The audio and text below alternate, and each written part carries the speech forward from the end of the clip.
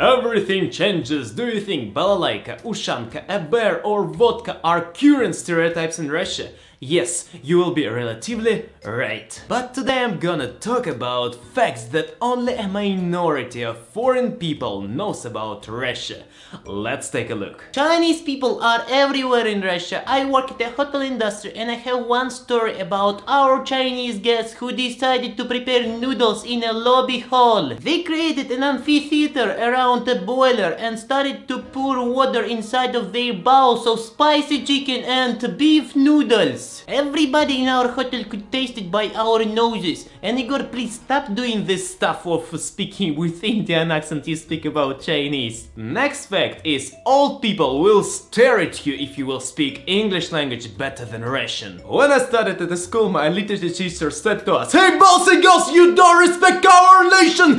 Why do you speak English so well when your Russian is so poor? Stop dissecting game, please! And one more fascinating fact about schoolboys and schoolgirls. Russian modern people prefer more Western and American culture instead of Russian. And every second human on Russian territory wants to go fast away from Russia on the tractor with a piggy Do you know why? Because from 2014 our prices increased double and our salaries decreased double. And it means that our life started to be more x4 coefficient more expensive. Wow, interesting, super, like German people say. That's why we have a big amount of complainers about corruption, raised pension ages with a low money benefit and 90% of poverty in provincial cities. And it leads to a huge array of homeless and drunkards on the streets. And thanks God that pedestrians areas are good, but we will talk about highways and roadways, then we should do this! Take a bad road and make it better. Also, I want to mention that a big quantity of Soviet factories are closed and we don't produce any manufacture. Yes, we have a raw material, but it's not enough. But we have many wooden constructions, from sculptures to beautiful architectures.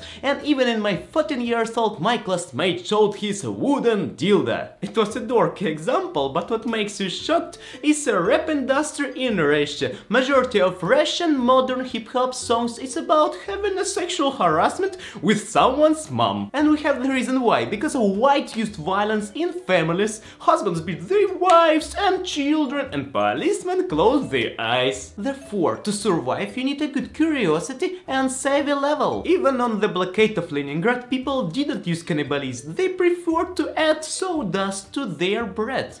By the way, I respect all these historical moments. And also I honor Russian food that is really mwah, tasty and juicy, but sometimes I think that a Russian meal was created as a snack menu for cheap spirits. Why is it cheap spirits and not expensive?